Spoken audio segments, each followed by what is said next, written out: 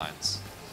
Oh, well, I was wrong. All right, fair You, enough. you can be That's- confident in things that are incorrect. Yeah, that's The fair. world has that's, taught us that's, anything. That's very fair. Let's use your TP. And I had a great conversation with Odoamne last week in his matchup against Bwipo, and he talked to me about they can move down first. The TP has come in from Abbedagge, and both teams posture around the Rift Herald. Shadow down to half HP already. Odoamne trying to come in. Abbedagge is going to come from the bottom side of the fight.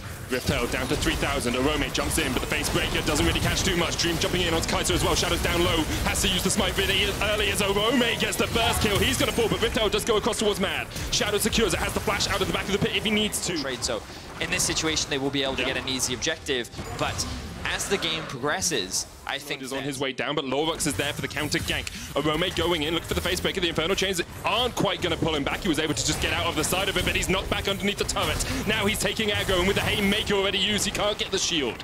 Good counter gank there of extra armor and magic resist here on this turret, but with Carzzy there with the Rift Herald there, should be a pretty easy take. Yeah, largely because it's uh, dictated by how many people are there. Um, Yeah. And of course, because Cards is by himself. Abbedagge now getting very low. Karthus ulti doesn't, Doesn't even, even need it. need it. Easy enough don't stuff feel there. that strong. But the game is only going to get harder. You've got to remember that Karthus in the later stages, very obnoxious. Um, the Oh, they're TPing behind them. Abbedagge is going to run straight into the face of Humanoid, and now he might have to flash. Puts down the Emperor's Divide. The blast code keeps Humanoid in place, but the final auto attack's not quite enough. Lurox has to flash the wall as well as Dreams goes in with the dredge line. Not sure he wanted that fight.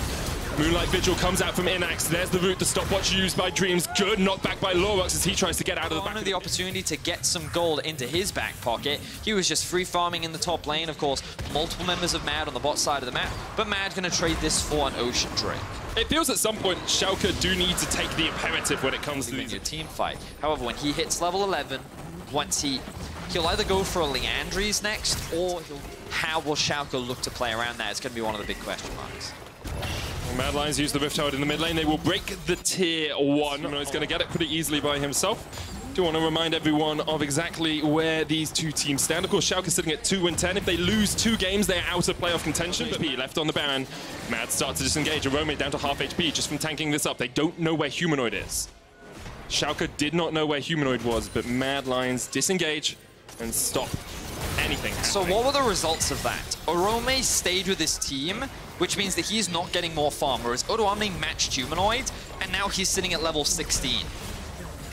They're also able to confirm a mid-tier 1, and a Orome, while looking for a TP flank, will He's get spotted, spotted, out, spotted, he's spotted. as Schalke goes straight for the Ocean Drake. So this all benefited Schalke because Abbedagge is still level 16. Schalke gonna win this game. Mad have limited options. To, ooh, Abbedagge not quite able to land that ultimate. Humanoid just gonna be able to jump away. Humanoid still down to half HP. Odoamne steps forward. There's the bullet time. Abbedagge just about surviving. Is the Requiem enough? Dodges away from the showstopper, but now Lurox is going to pay with his life. Haymaker finds him. A punch to the back is enough. You got to get in. You got to get in. You got to go. Schalke pull the trigger on the engage. There's the Moonlight Vigil onto Shadow. He's down to half already. And there goes Odo on the front line. The Infernum's going to rip through Mad. Only Innaxe can get the damage down, but he doesn't have enough. Shadow surviving Mad. Just about alive on the back line as Humanoid jumps forward. Locked up. Orome, though, with a great face breaker into Haymaker. Keeps himself alive. Abbedagge goes in. This could be it. This could be the penta. It's not. Mad Lion's able to lock him down and take it. would be soul for Schalke. But Mad aren't really going to let them have any of the map into it all. Whereas Mad have Shadow and Humanoid who can get out of a fight at a moment's notice. They need to keep that pressure up in the mid lane. They do have that wave, which Innaxe is now catching. With numbers advantage, they can force onto this tier 2, but they don't want to overcommit. They've taken two towers. Maybe now's your best opportunity to actually go for a fight. Abbedagge does still have the TP if he wants to come in. The Humanoid has come back. They have pressure in the side lanes. They're getting turrets. They're getting a little bit of gold where they can.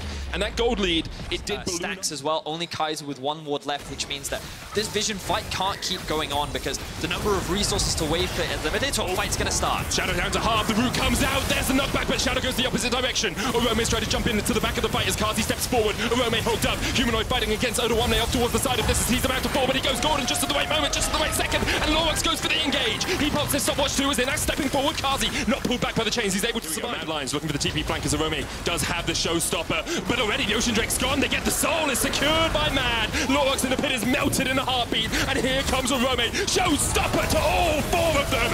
Kaiser jumps forward with Glacial Fissure. It's all on Innaxe, it's all on Abbedagge. You've got to turn this fight around right now. Otherwise, with the Requiem coming out, you're just going to get taken out. Humanoid dives off towards the side. It's Innaxe and Odoamne who get the kill. Will put themselves in the favorable position again, but Innaxe is here. He doesn't have the ultimate available, does have Flash. Innaxe has the Cleveland and the Infernum. He could shred through Mad Lions in just a second. And here he goes. Carzzy trying to put the damage down. Carzzy wins that 1v1, but here comes Abbedagge. Now, there's Pinsard. They're flanked. Odoamne jumps back into the pit. Orome almost falls, but look at the healing on him. The Ocean Soldier so much. Abbedagge, you shuffled him the wrong way. Carzzy able to survive for the second, but here comes Innaxe. That's one. They're looking for more. Innaxe, are you going to step forward? Because Odoamne is there by himself. Calibrum doesn't hit from long range. Orome still tanking up. Shadow able to get back, and it looks like Schalke won't be able to find anything more out of this. They got Winters by Orome looking for the steal, but Lurox is nowhere near this. That Elder Dragon's almost gone, and Mad will secure it. It's Carzzy who takes it. And now they don't want to fight Mad now. Ocean Soul combined with Elder Drake. Oh, the TP. TP flank. Orome with the TP flank. Once again, Humanoid goes in. He almost has He's shut down. Maybe that's what they needed, but Abbedagge has been suppressed. Knocked back with the showstopper. And Orome smites him with the power of the Elder Drake. Innaxe in the middle of the fight is doing so much. He gets the Infernum. Carzzy's down. Carzzy's down. Orome trying to get him with the facebreaker again, but Kaiser, look at the damage. Look at Shadow. He just takes down two in a moment, and now Odo, Odoamne is running for the hill. Could have actually won that fight and secured the Baron, but you're seeing the power of this late game objective. Mad will use their Elder to secure... Blasting one, maybe looking for a Void Staff, because there's a bit of magic resist on the Mad Lions squad. We'll see, Kaiser.